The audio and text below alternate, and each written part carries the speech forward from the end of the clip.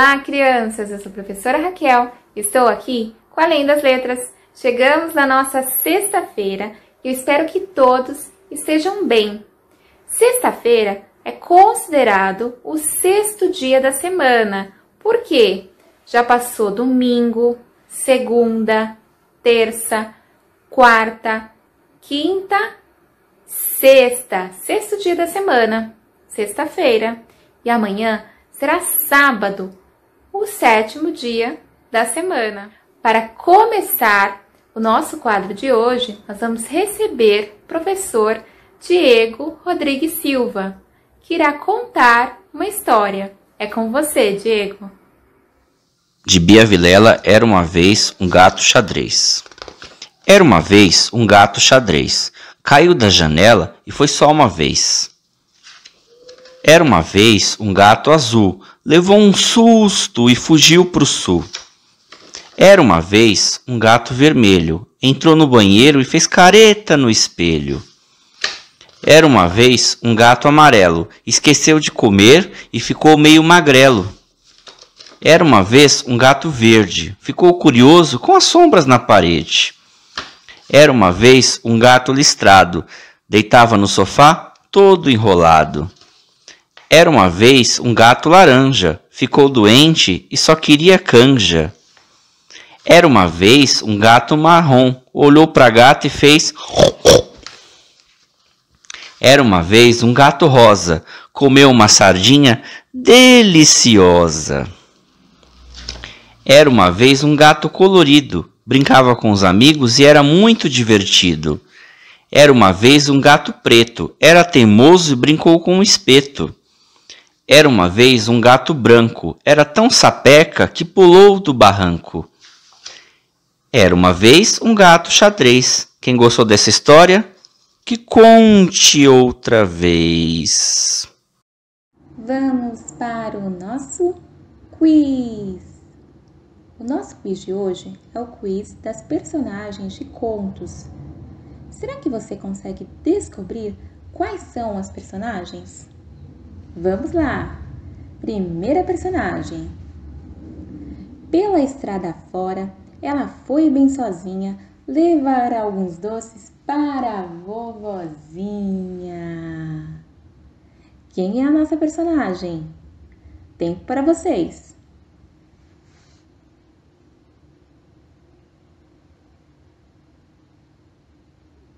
Resposta na tela. Chapeuzinho vermelho, muito bem!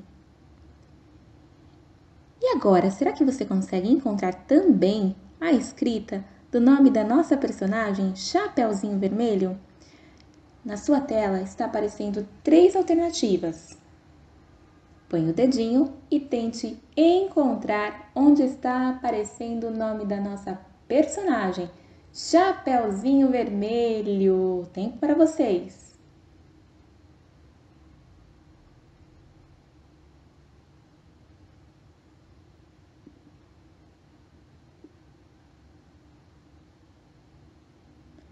Muito bem, resposta na tela. Alternativa B, Chapeuzinho Vermelho.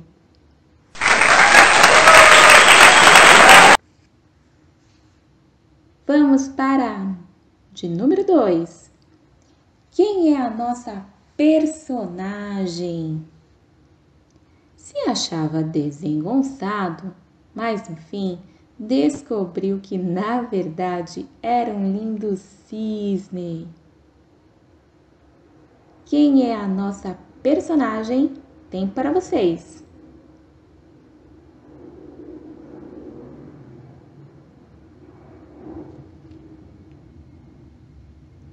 Muito bem. Resposta na tela. Patinho feio. Será que você consegue também descobrir a escrita do nome da nossa personagem? Vamos lá. Na sua tela está aparecendo três alternativas. Tente encontrar onde está escrito Patinho feio. Põe o dedinho na tela e vamos lá. Tempo para vocês.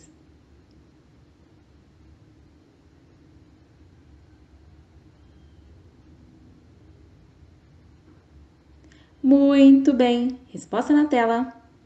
Alternativa C, patinho feio. Parabéns! Agora nós vamos para a de número 3.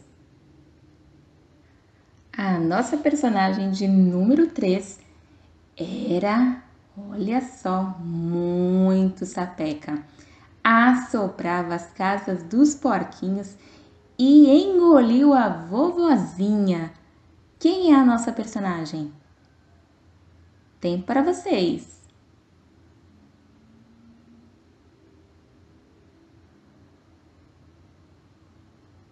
Muito bem, resposta na tela.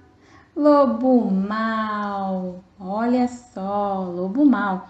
Será que você consegue encontrar o nome da nossa personagem? Na sua tela está aparecendo três alternativas. Vamos lá, tente encontrar onde está escrito Lobo Mal. Tempo para vocês.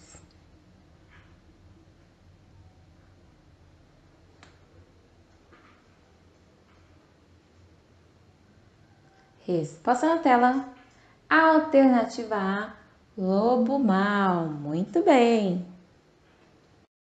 O livro Medonho tem uma fala da autora Rosana Rios, onde ela diz assim: Desde que aprendi a ler, e foi bem cedo, as histórias de que eu mais gostava eram as que tinham bichos, que as pessoas achavam feios, quase monstros.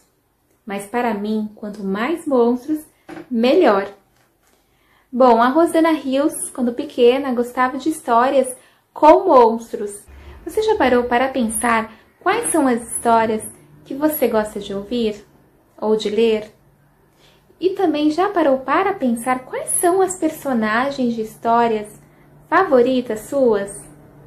Bom, essa fala da Rosana Rios tem tudo a ver com a nossa proposta do dia. Foi na tela. Hoje é dia 14 de 5 de 2021, sexta-feira. Na proposta do dia, você irá pensar nas suas personagens favoritas das histórias que já leu e que já ouviu, e vai utilizar o seu alfabeto móvel para escrever o nome dessas personagens. É importante na hora de escrever, pensar nas letras que irá utilizar para escrever o nome de cada personagem. E também sempre lembrar de retomar o que escreveu, lendo, apontando com o dedo onde está lendo. Vou repetir. Na proposta do dia, você irá pensar nas suas personagens favoritas das histórias que já leu ou que já ouviu irá utilizar o alfabeto móvel para escrever o nome dessas personagens. É importante, durante a escrita, pensar quais letras você vai utilizar para escrever o nome das personagens e também não esquecer de retomar o que, escreveu lendo, apontando com o dedo onde está lendo. Vamos voltar. O tempo perguntou para o tempo quanto tempo o tempo tem. O tempo respondeu para o tempo que o tempo tem tanto tempo quanto tempo o tempo tem. Agora você vai tentar falar um pouquinho mais rápido. Vamos lá. Tente não travar a língua.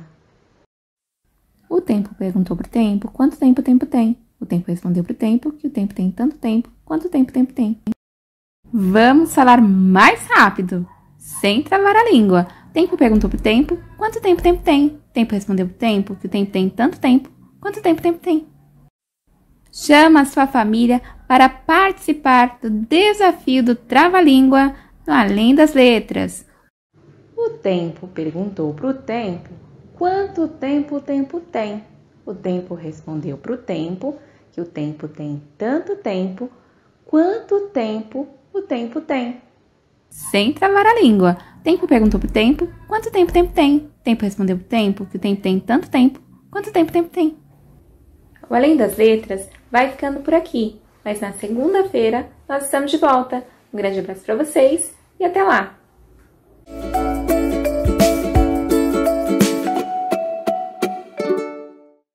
Chegamos à sexta-feira, mas ainda temos algumas ideias para serem compartilhadas aqui no desafio do dia. Se divertiram? Gostaram do jogo? Quem ainda não experimentou a proposta, não tem problema, o jogo ainda ficará disponível para vocês. A semana que vem nós tiramos porque vamos substituir por outras propostas, tá bom? Mas ainda dá tempo de vocês experimentarem o caça-palavras que a Pro deixou. Hoje eu tenho um outro link que eu vou compartilhar com vocês de um quebra-cabeça apenas para vocês se divertirem aí no final de semana. Mas no finalzinho do programa eu te conto isso porque antes vamos descobrir se o medonho andou muito ou andou pouco para encontrar a medonha. Será que nós vamos descobrir isso? Então anotem aí o tema, a data de hoje, que vamos começar nossas investigações.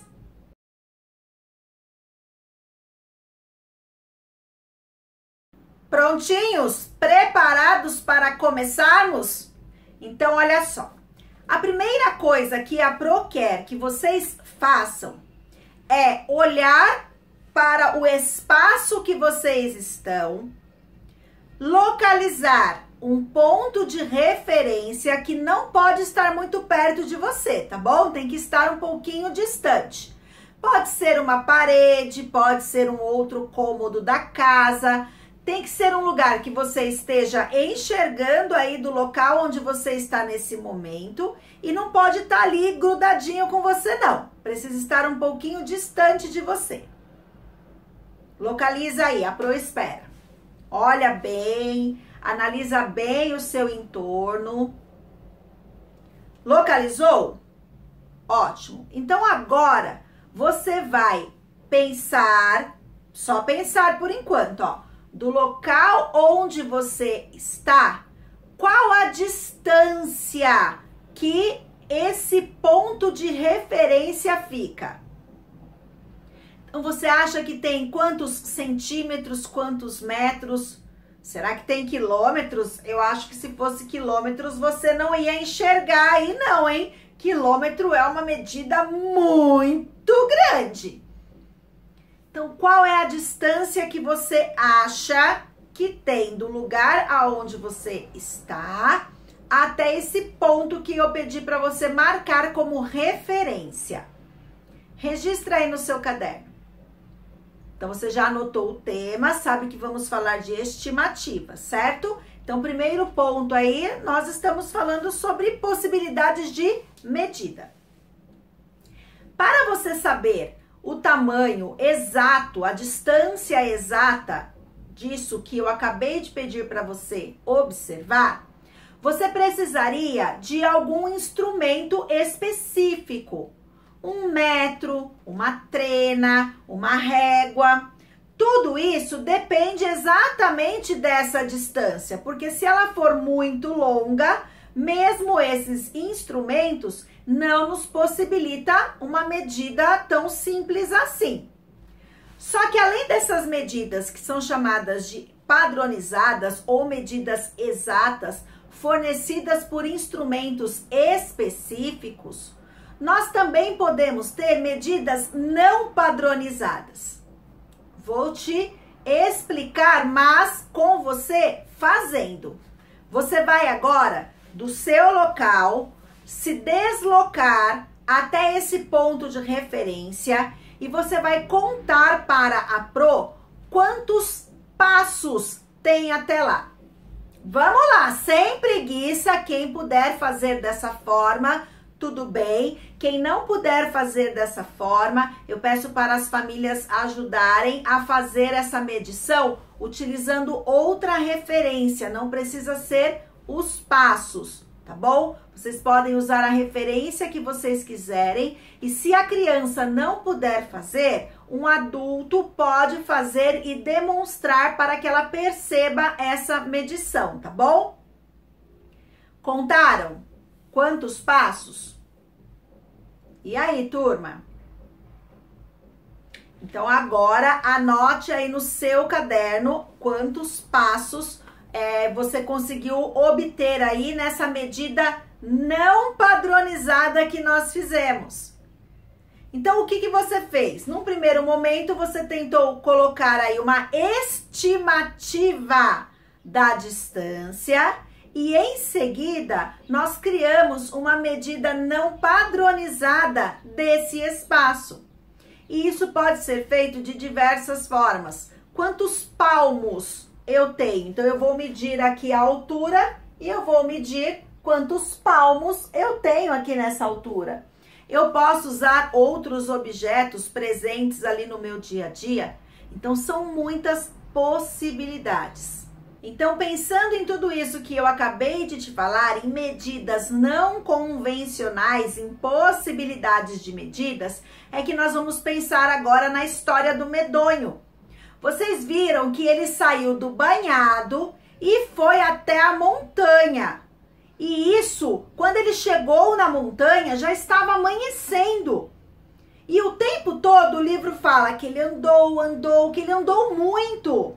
Então, em todo esse deslocamento, qual será a distância aí que vocês acham que o medonho percorreu? Essa já é a primeira parte do nosso desafio de hoje. Então, anotem aí a nossa síntese. Então, a primeira coisa é descobrir ou pelo menos colocar aí a estimativa da distância que vocês acham que o medonho percorreu para encontrar a medonha. Aí vocês vão escolher uma unidade de medida e fazer a estimativa desse deslocamento, registrando a distância que ele percorreu. Então você tem uma estimativa, uma proposta, você está imaginando aí todo esse deslocamento. Fez a estimativa, chegou a um valor, você vai agora pensar com essa distância toda, onde vocês acham que daria para chegar saindo da sua casa. Ai, meu Deus! Então, olha lá, vamos lá. Primeira coisa, nós vimos que o medonho andou muito. Então, vocês vão fazer a estimativa quanto vocês acham que ele percorreu, qual a distância do banhado até a montanha. Feita essa estimativa, porque nós não estávamos lá com ele, não dá para ser um valor exato. Vocês vão pensar nessa distância toda, onde daria para chegar aí da sua casa. Combinado? Então tá bom. Vocês podem fazer a estimativa de onde vocês gostariam de chegar utilizando diversas possibilidades, tá bom? Vou deixar a criatividade de vocês aí correr solta mais uma vez. Como nós estamos chegando próximos aí do final de semana, a Pro trouxe uma proposta aqui de um jogo diferente. Na verdade, ele é um quebra-cabeça. Vocês vão acessar esse link que está aparecendo aí na sua tela. Quando vocês clicarem nesse link, olha o que vai acontecer. Eu vou te mostrar.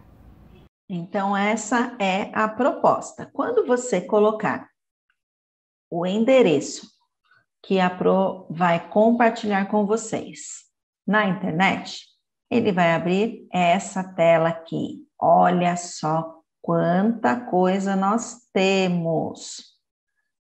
Então, aqui é um quebra-cabeça. É um momento só para vocês se divertirem, tá bom? Então, vocês vão escolher, tem esses diagramas aqui no começo e vocês podem explorar outros. Tem vários jogos aqui para vocês se divertirem. Aí eu vou escolher esse aqui, ó. Eu gosto muito do Mickey, então eu escolho esse diagrama. Clico nele e todas as pecinhas, ai meu Deus, do meu quebra-cabeça aparecem aqui na tela, bem bagunçadas. Eu clico na peça e arrasto para o lugar onde eu acho que ela vai se encaixar. E eu vou tentando montar, ó Hum, não deu certo. Aí eu pego a pecinha. E essa aqui também não deu certo, mas eu acho que tem alguma coisa de laranja ali no meio. E aí você vai separando as pecinhas e vai quebrando a cabeça aí na montagem, se divertindo no seu final de semana com segurança. Isso é o mais importante, tá bom? Então monta aí o seu quebra-cabeça, depois compartilha com a Pro. Quero ver qual será o quebra-cabeça escolhido por vocês. Então agora é com vocês. Desafio lançado, diversão com um quebra-cabeça ofertada. Aproveitem muito o final de semana de vocês. Se cuidem, se protejam direitinho e segunda-feira a Pro está aqui à sua espera. Tchau, tchau.